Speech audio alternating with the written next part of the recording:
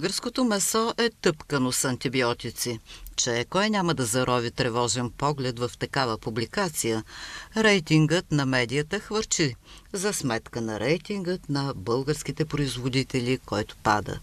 Истерията, която предизвика докладът на един проект Европейско наблюдение на консумацията на ветеринарни антимикробни препарати, продължава да се вихри, макар че пикът мина и вече се поуталожи след спасителната акция на Българската агенция за безопасност на храните.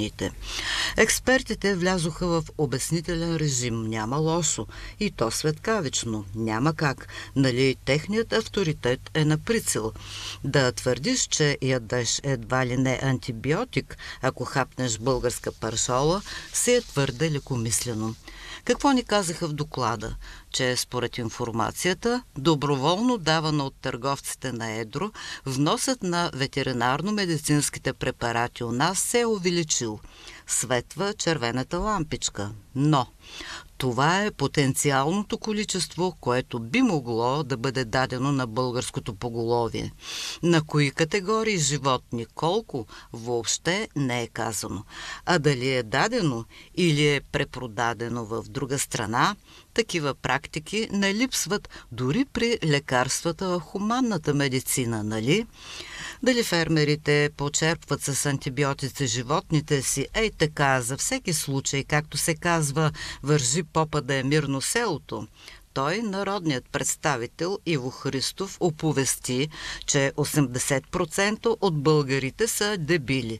Ама все пак акъла на фермерите стига до там да си направят сметката, че скъпичко ще им излезе това презастраховане. И все пак данните от доклада не бива да се пренебрегват.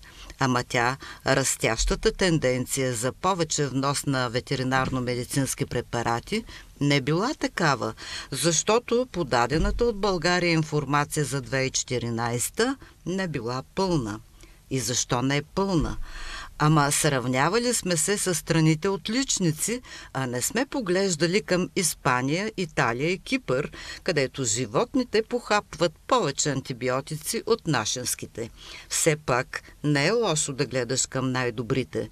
Покрай тази престрелка между медии и Българската агенция за безопасност на храните се образова обществото че само с рецепта от регистрирания ветеринар могат да се купуват антибиотици и фуражите с тях, че само по тяхно предписание и наблюдение могат да се лекуват животните.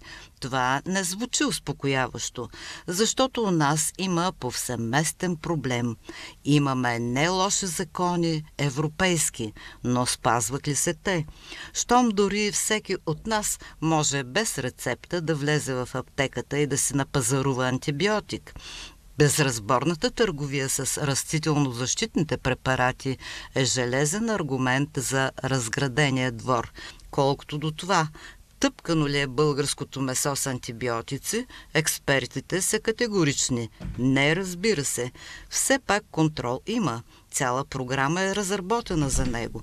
Данните сочат, че нарушенията са епизодични, въпреки че всички партиди месо естествено не могат да се изследват. Появи се даже и конспиративната теория, че случаят с антибиотиците в месото е част от търговска война. Възможен, но малко вероятен вариант.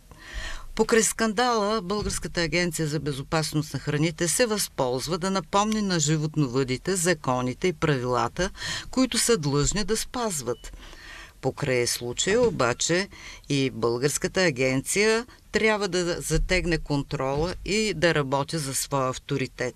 Всички знаем за откритата война на ведомството с ветеринарната гилдия, която е твърде демотивирана за стриктно изпълнение на задълженията си. Каквите там рецепти, като всеки фермер на практика не е решил, не си е купил някакво лекарство – Бурята около европейския доклад скоро ще влезе в познатата графа «Всяко чудо за три дни». Но проблемът е сериозен. Да станем резистентни към антибиотиците поради безразборното им приемане и да умираме от проста инфлуенца звучи фантасмагорично, но днешното лекомислие води точно към това –